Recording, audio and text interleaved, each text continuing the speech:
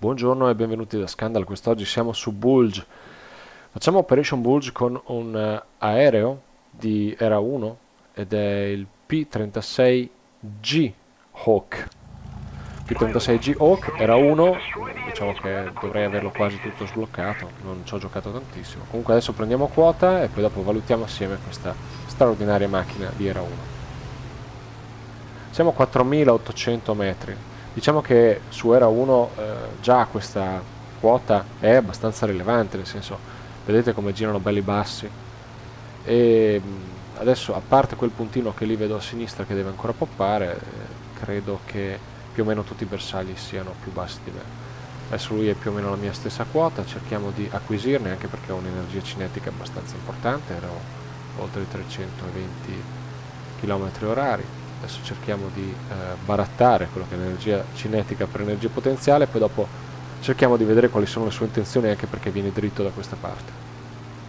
Comunque V36G Hawk o comunque anche tutti i P36 diciamo sostanzialmente sono dei caccia che eh, un po' vecchiotti non avevano possibilità di svilupparsi tecnicamente come però fu per tantissimi altri caccia eh, della seconda guerra mondiale. Adesso voglio vedere le intenzioni di questo perché molto vicino, lui è impiccato, un climb abbastanza importante, adesso io vado in loop, dovrei avere tutta l'energia per poterlo fare, vedete che energy retention che ha, eh, addirittura quasi nel video del Focke-Wulf, a parte il fatto che eravamo chiaramente abbastanza impiccatini, ecco, non è che avevamo energia sufficiente per fare un loop, però vedete eh, performa a livello di energy retention addirittura adesso mi rifaccio l'ultimo video meglio del Focke-Wulf 190 F8 anche perché diciamo che come struttura questo è più leggero però dovrebbe teoricamente avere una componente energetica migliore anche se effettivamente eh, nel, realisticamente non, eh, non c'è un confronto vero e proprio col Focus 290 però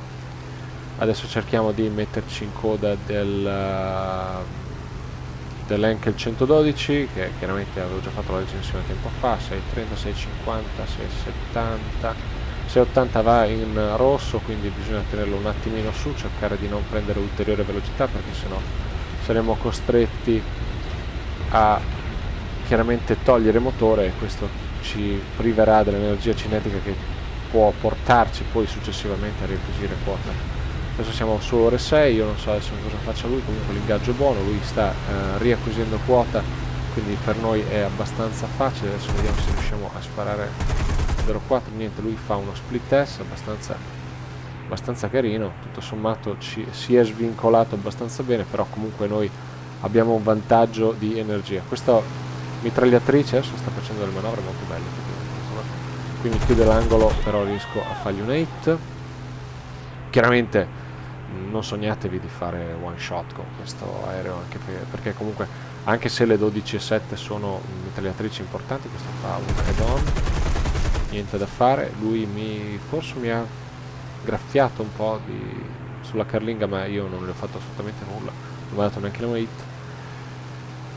E adesso cerchiamo di performare una mered. Prendo quanta più energia potenziale possibile per riuscire a sovrastare quello che è il mio bersaglio. Chiaramente vedete le manovre più o meno ricalcano sempre un altro head-on qui faccio una hit lui è impiccato io invece vado giù 380 arrivado a cabrare per riuscire ad acquisire quota vado in loop. Ok lui adesso ha meno energia di me chiaramente come, come prima. Il B0 è una gran macchina soprattutto vira da dio però performa un po' peggio. Adesso vediamo se riusciamo ok niente. Qui mi ha chiuso l'angolo coerentemente bravino questo qui. Ok fa una sorta di barrel roll però l'ha spezzato a metà quindi non è completo adesso vediamo se riusciamo a rivirargli in coda. Ok adesso più o meno entrambi gli aerei hanno la stessa energia adesso lui ha guadagnato una posizione a ore 6 io vado in barrel roll. Barrel roll chiaramente mi baratta a distanza e vado in coda. Ok ok niente non sono riuscito a fare una hit perché lui si schianta. Comunque si è schiantato e peccato perché sinceramente eh, secondo me meritavamo la kill, però è chiaro che non, diciamo lui ha perso il controllo probabilmente del suo aeroplano manovrando e questo è anche un punto a favore nel senso non, non ha dato la kill però comunque abbiamo manovrato in modo tale da fargli perdere il controllo dell'aereo secondo me è aggiudicabile come vittoria sull'avversario in 1-1 adesso cerchiamo di andare a vedere che cosa succede al centro la vedo del Junker 87 sovrastati da P26, F4F, SBD3 cioè diciamo che sostanzialmente credo che durante questa partita la, la nostra posizione sia di favore. Adesso vediamo là c'è un Folgore, bello Folgore. Speriamo di poter avere a che fare con Folgore perché mi piacerebbe assai poter duellare con, contro di lui diciamo ma purtroppo penso che eh, i Wildcat siano a caccia grossa e un Wildcat ha già fatto un critical sullo Junker 87 però vedo sta puntando verso l'alto adesso la sua energia non è chiaramente interessante per poter fare un add-on su di noi però vediamo se riusciamo a fare uno split test per riuscire a metterci in coda del eh, Macchi 202 macchina dalle eh, caratteristiche di volo straordinarie. Ulpla, qua l'abbiamo shottato primo colpo. Probabilmente pilota infatti il pilota pilot is unconscious. E quindi abbiamo ucciso il nostro Macchi 202 adesso con una kill però dobbiamo cercare altri target che però non vedo. Comunque il Curtis è, è, è un bel aereo. È un aereo che ci dà l'impressione di, di, di, poter essere un aereo di tutto rispetto nella era 1 infatti vi, soprattutto con la versione G vi renderete conto che eh, riuscirete a, ad avere un incremento di prestazioni rispetto agli altri aeroplani dovuto al fatto che i 12 sono veramente molto forti. E quindi se voi non vedete che un aereo sull'era 1 chiaramente in realistica intendo dire non in arcade perché arcade è, diciamo con i modelli di volo semplificati è molto molto facile diciamo riuscire a gestire le situazioni. Se eh, vedete che non è buono fare turning fight non state a sprecarci del tempo lo usate come boom and zoomer e vedrete che i risultati poi sono, eh, diventano più interessanti.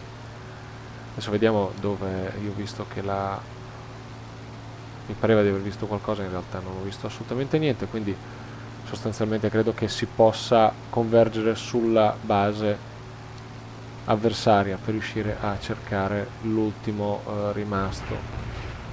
Un P26A si è andato a schiantare adesso.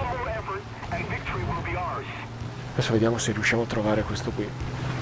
Quindi là ci sono le basi basi che sono state poi introdotte durante la 1.37 prima non c'erano le basi sono dei punti dove si va a bombardare sostanzialmente non c'è niente di, di, esagerato da comprendere e la, la, base distrutta riduce del 10% l'income diciamo di uh, Lions e esperienza che la squadra avversaria fa.